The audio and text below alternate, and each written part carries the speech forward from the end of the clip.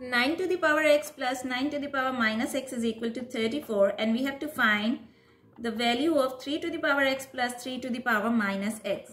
So 3 to the power x plus 3 to the power minus x, if we apply square on it, so it is in the form of a square plus b square, sorry, a plus b whole square which is equal to a square plus 2ab times b uh, plus b square which is an identity.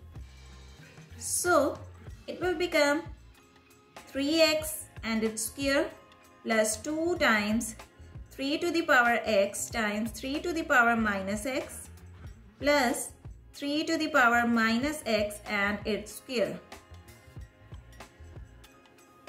And also we know that a to the power m whole power n is equal to a to the power n whole power m.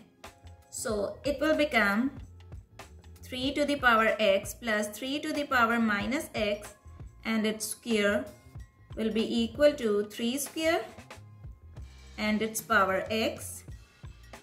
Here we have 3 to the power x minus x. Because bases are same so we can add its power. So x minus x will be 0 so 3 to the power 0 will be equal to 1 so we have here just 2 plus 2 plus 3 to the power 2 and its power minus x.